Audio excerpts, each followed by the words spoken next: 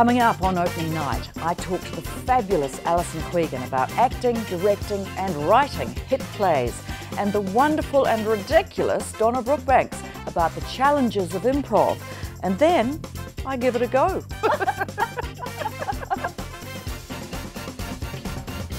Hello and welcome to Opening Night, where we meet and greet greats of the New Zealand performing arts scene, as well as give you a heads up as to what's on around the country and who's having an opening night, both here and overseas. Well, first up, I had the pleasure of sharing a dressing room with my first guest when we appeared in Roger Hall's Last Legs last year for the Auckland Theatre Company. And let me tell you, if ever you need someone to calm your nerves before a performance, it's this lady. I admire you. You're my hero, and I love you, Mum. And I wanted to come here in person not only to thank you, but to give you these. Oh, okay. Mum, I thought you'd be a bit more happy.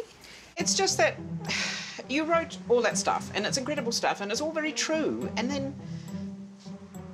Flowers? Uh. Flowers you can just pick from the garden. Yeah, but I. I just figured that I burst you from out of my vagina. I mean, right out of it. But I guess these make up for all the stitches. You think that's gross? I shat myself, and that was not the most traumatic part. Shit, Mum. You know, your head is the same size as it was when you were born. You tore me into a semicircle. There's just one hole down there now. Oh, There was so much oh. blood, the doctor passed out, and I had to deliver you on my own. that can't be true. I sat through every one of your stupid recitals, not to mention the thousands of dollars I spent on toys and clothes and keeping a roof over your head, and the hours I spent re-strengthening my pelvic floor. TMI, TMI. Sarah bought her mother a Kindle reader with an internal backlight. You can read it on the plane. Yeah, they are pretty good. I am the laughing stock of our book club, and you're bringing me flowers. Flowers! Okay, I'll get you a Kindle. Oh no. I know what I'm worth to you now. Well, can I still come in? Yes. Cool. I bought my laundry. Welcome, Alison Quigan. Oh, thank you, Lou. So lovely to see you again. And you. And you. Um, so you're a Palmerston North girl, I am. I am. born I, and bred. I was, yes. yes. And so, did your career, acting career, start off there? Uh, it sort of did. I trained he- up here in uh, Auckland at Theatre Corporate in 1978. Then I toured, you know, um, freelancing around the country and ended up back in Palmerston North as the artistic director in 1986. And I stayed there until 2004. Is there a lot of work for actors in Palmerston North? Only the ones I created. oh, hey, very much like me. Have your own theatre company, then you can cast yourself in the lead. Actually, I tried not to, but the, it did come to a point where I was the only, I was the cheapest middle-aged middle-aged actress in Palmerston North. So I'm certainly in the lower North Island that I could afford. So yeah, I was the one that did some of those roles. And I mean, that sort of brings out the whole thing about acting, in that you have to make your own work half the time, don't you? I think you do more so now than we did when when I started. When I started, you get you'd get a year long contract sometimes. Um, Wow. I know. I had a year long contract at Theatre Corporate. How fantastic! And at Mercury, people had Mercury Theatre. People had year-long contracts at Centrepoint, at Court Theatre, and in Dunedin. So um, at Fortune Theatre, people would have a decent length of contract. And you sometimes you would be playing a small role, and sometimes you would um, find your way to the middle. so it was like rep Yeah. in England in that way. Uh, Except that we didn't do several plays at once. With Rep, there was, you know, you rehearsed a play, you put it on, and then you rehearsed another one, and then you would have a series of plays that you could um, do, like the Pop Up Globe does now. Yes. Um, but at that time, no, no, you'd, you'd rehearse a play for four weeks, put it on, and then um, you maybe you toured it to schools or yeah, around this. But the pay would be a hell of a lot better now, wouldn't it? Um, well, we lived on that. You Really? Know? Um, I, in 19, I remember getting in 1979 getting eighty dollars a week, which actually. And you lived on that. We lived on that. You're kidding me. 1979. We toured on that. Well, sort of uh, born in Peterborough at Middle Road. That's right. Um, so we'll get back to the acting thing. But Ali, something that I did read about you was that you you've been quite heavily influenced by Catholicism when you were younger, haven't you? Well, yes, we lived and breathed it when I was young. You know, we were a big family and Six kids? uh, six kids in ours, and then of course my father's family w- was eleven in his, so I had eleven lots of of, of cousins, and that, that was all very heavily influenced uh, with, with the church. My parents built a church. Wow. Um, okay. Along with all their neighbours and fellow um, members of the con- congregation, they built a church um, because in the 50s there wasn't one where they wanted to live or where they were living. So um, they built it. But you going into theatre, did that seem to be a bit naughty? Um, no, no, not really. Um, I mean, there's an element of performance in Catholic Church because of all of the vestments, you know, costumes, um, because of the scripts, you know, uh, and because of the performance, you know, the, the, the, the rituals that go along with it. And I know a lot of people who are uh, performers who have been influenced by having that in their background. They're used to that kind of performance, I guess. And does it still have a big influence in your life? The, the Catholic Church? Yeah. No, no, not really. I mean, it's there. Have you strayed, Ellie? yes, I have strayed. yes, I'm a lapsed.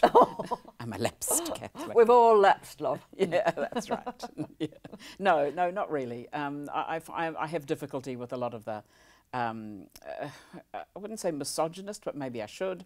Um, the whole idea that women can't be priests or and there can't be a female pope. I just Right. find all that a bit silly, really. Yeah, okay. No, that's fair enough.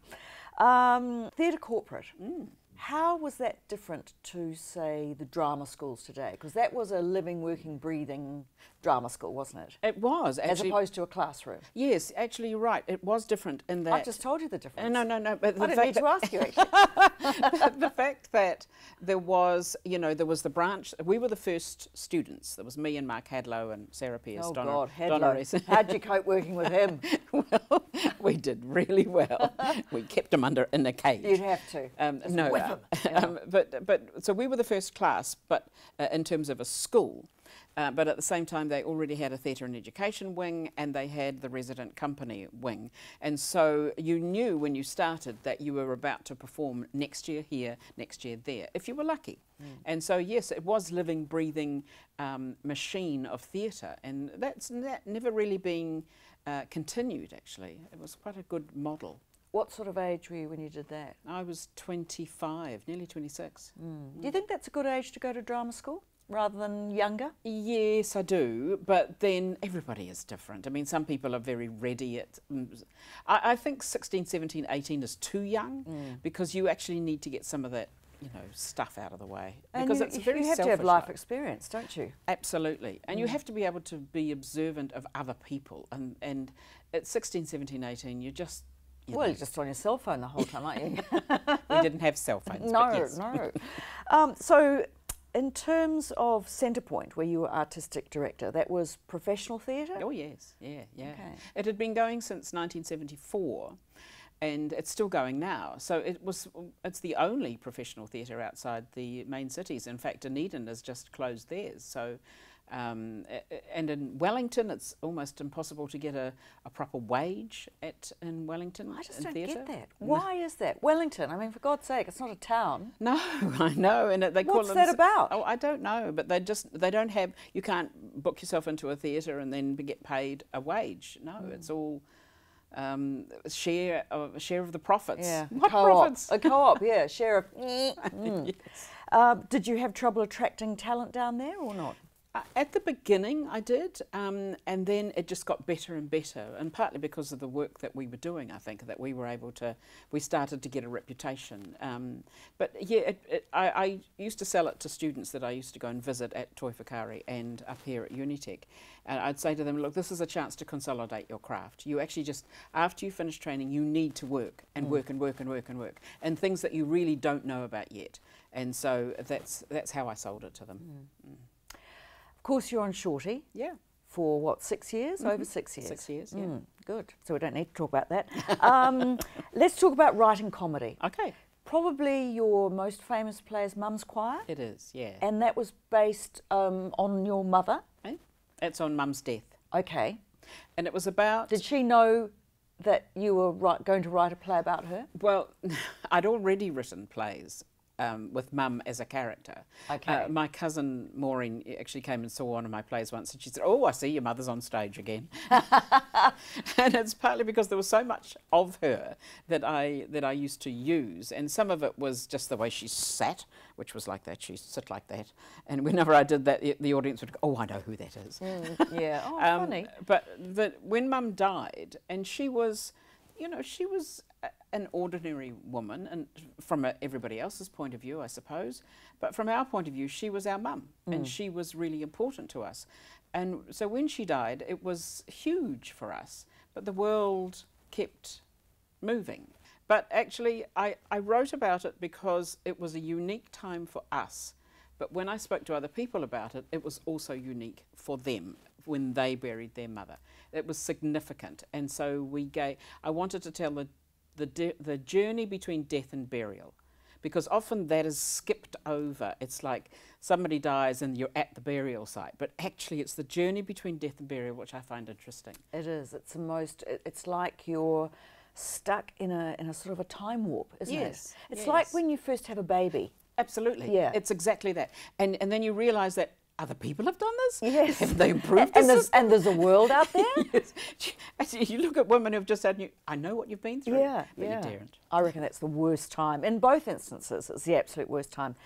Just briefly, tell me about um, your next production, which is going to the Q Theatre, has been um, through your role at the Mangere Arts Centre, uh, Wizard of Otahuhu. Yes, Wizard of Otahuhu is. Oh, the sorry. No, no. no I, I, it all depends on the rhythm. Yeah. But the Wizard of Otahuhu is um, the story of the Wizard of Oz, seen through the eyes of this particular group of people in South Auckland. I've been working with for the last five years, and uh, each year we do an, uh, do a new production. We use contemporary music. Um, amazing choreography and uh, an incredibly energetic group of people. So this year we've got 50 people on stage, and Wow. they are amazing. Yeah. Um, It looks amazing in the stuff we've got. it's just so vibrant. We, we've just done a season in April at the Mangere Arts Centre. It's sold out, and now we're taking it to Q Theatre uh, in July, July 10th to the 14th. And uh, uh, it's because we got such an incredible response. It's sold out. Fantastic. Is comedy easy to write or really hard? comedy is tragedy, Mm. but with better timing. um, it, it is, it's about being able to see life and then you can lighten it slightly, or it can go the other way as well. I, I, I've watched actors like George Henare, who, for instance, I, I watched him place a line one time where we where we laughed as an audience, and then he just twisted it at the end, and we wept. Mm. And so that's the sort of thing that I'm always trying to get. Maybe it's the the comedy first, and then the then the twist of the knife, or the other way around. So it, it can go either way, but it's mostly about being able to observe other people and then recreating it. Well, that's like your role that you have had in Funny Girls as, as the mother, or you know, it's absolute observation, isn't it? Yes, It's, those some- cringe moments that we've all had with our mother. I know, I know.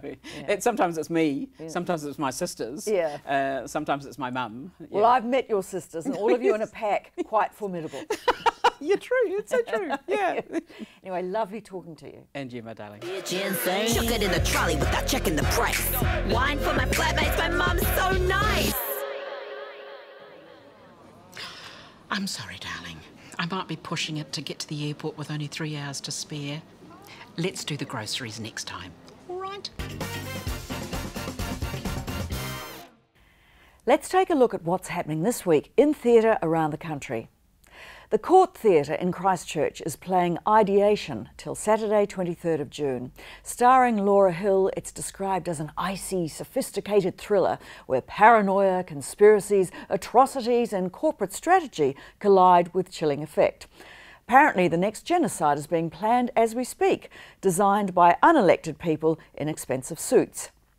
The Ellerslie Theatrical Society presents House of Angels at the Stables Theatre in Ellerslie from June 7, and its subject matter is something I can identify with. It's about eight elderly discarded actors as they contemplate their future.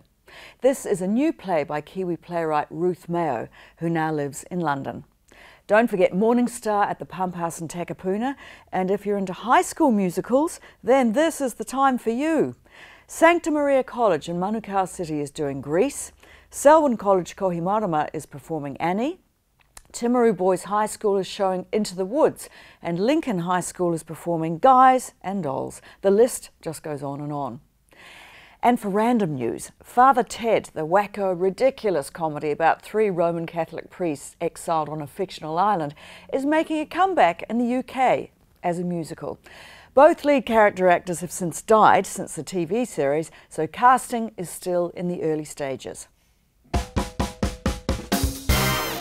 When you're hot, you're hot, and this girl is so hot right now. Fresh from her hit show at the International Comedy Festival, You Do You Babes, 2018 Billy T nominee Donna Brookbanks is with me now. Welcome, Donna. Thank you for having me. That sounded a bit creepy. It sort of sounded like I was coming on to you. you I loved you know, it. Yeah, I, I thought you were. You're so hot right now.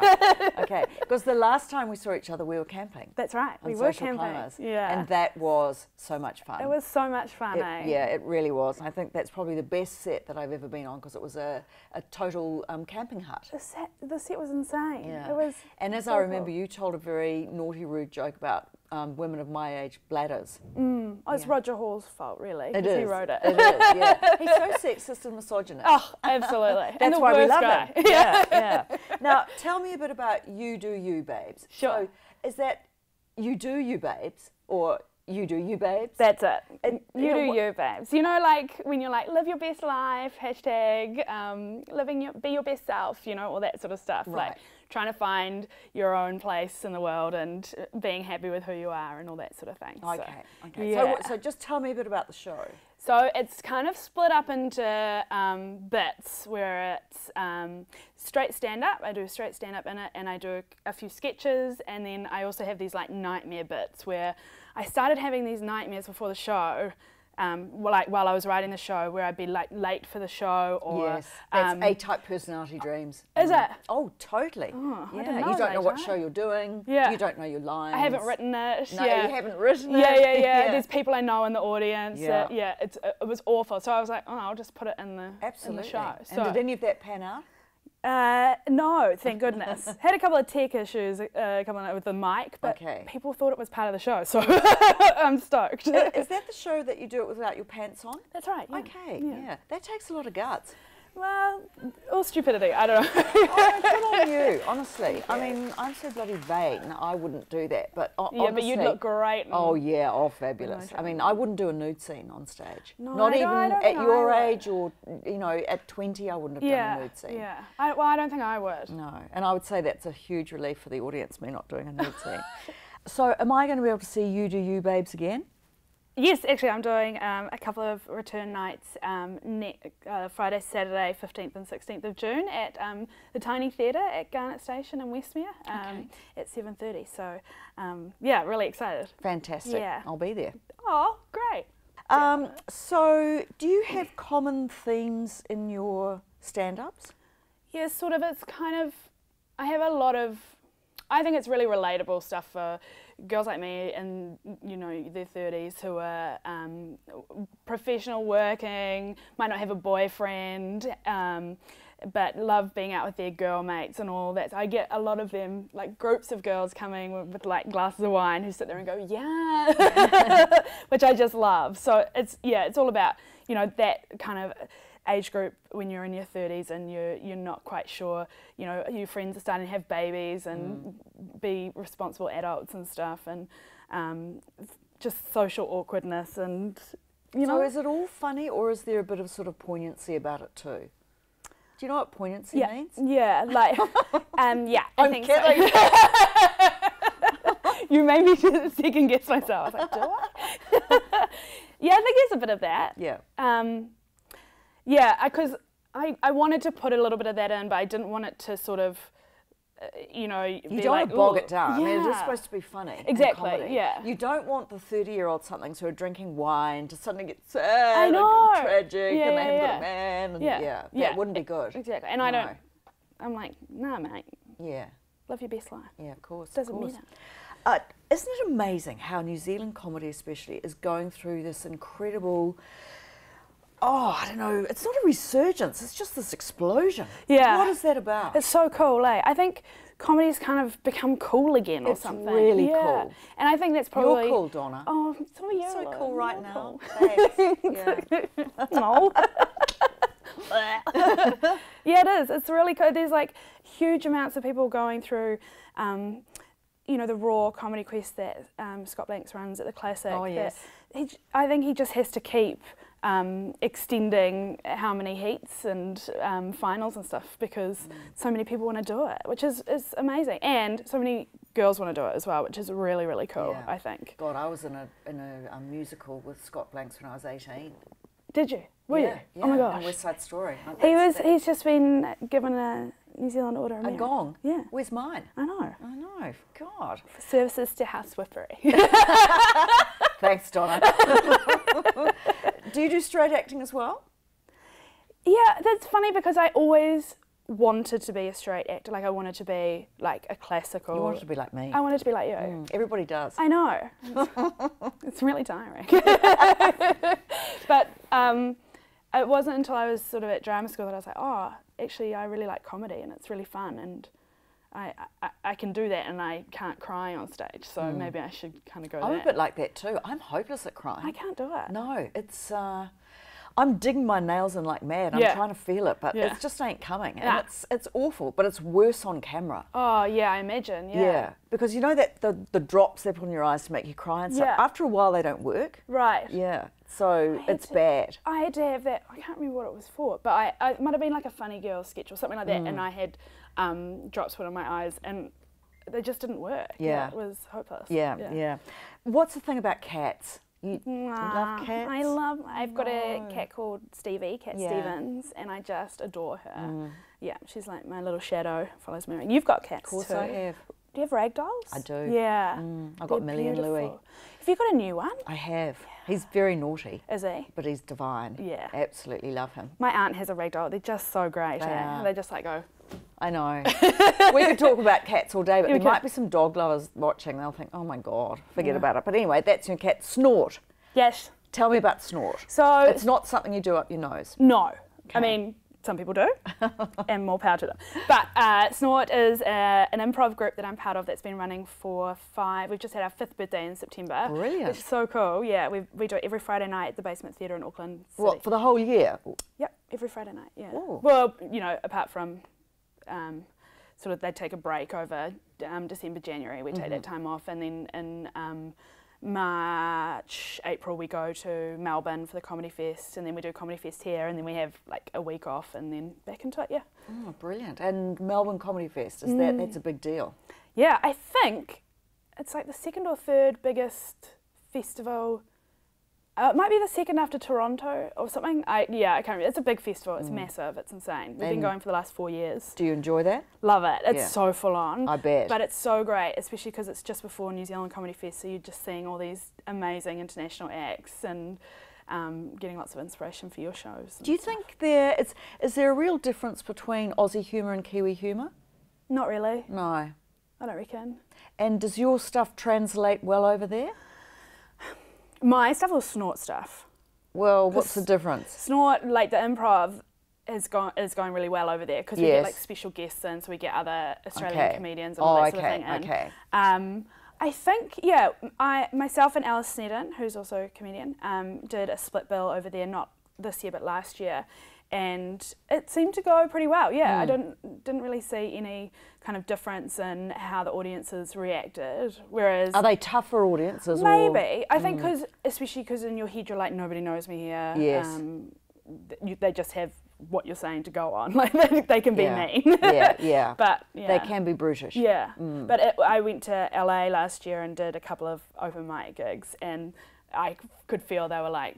Why is she being so mean to herself? You know, like that yes, self-deprecating yeah. humour that I, I get. think um, it takes Americans quite a while to cotton on to our sense of humour. Yeah. They're not really uh, on the same wavelength yeah. in a way. I think they think it's mean, a little bit mean. You know Yes. how, like, I take the piss out of myself Yeah. quite a lot, and I Mm. think they were like, Yeah. so sad. no, I think I think you might be right. Yeah. Hey, it's so good to see you. So good to see um, you. Thank and you. we're going to try a little exercise a bit later on that could go really well or really badly. cool.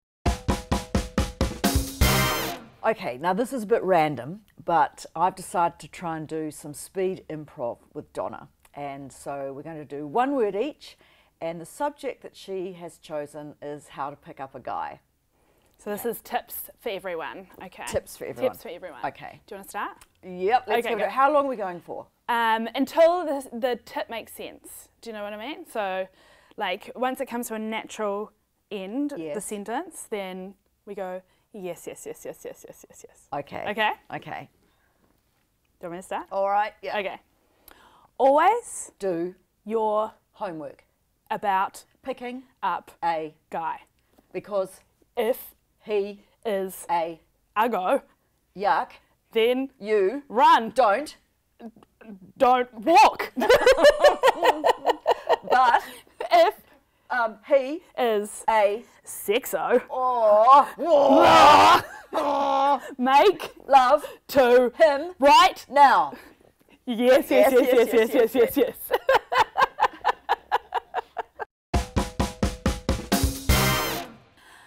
okay, Lou. This one is how to look after your cat. You kick off. Okay. Um, make Love to the cat owner.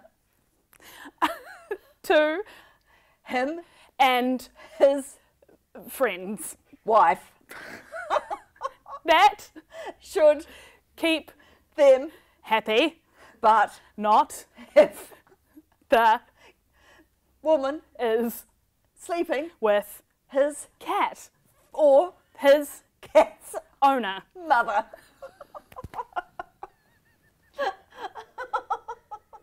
That is not how you should look after a cat.